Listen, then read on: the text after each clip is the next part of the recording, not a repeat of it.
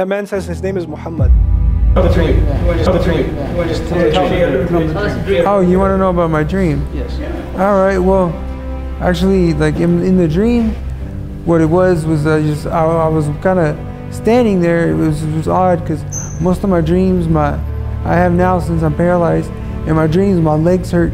They feel like tree trunks and I can't move and I'm I'm in pain because I guess I'm dreaming because I'm in pain. But this time I was just standing there